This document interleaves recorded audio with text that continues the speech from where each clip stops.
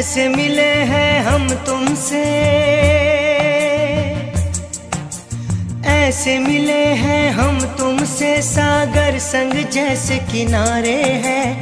पच्चीस बरस तो बीत गए पर आज भी प्यारे नजारे हैं। हम्म, हम्म, हम्म। समाचार एक्सप्रेस के छत्तीसगढ़ के दुर्ग भिलई से संवाददाता राजेंद्र गाड़े को 25वीं शादी की सालगिरह की समाचार एक्सप्रेस की टीम द्वारा हार्दिक शुभकामना व बधाई।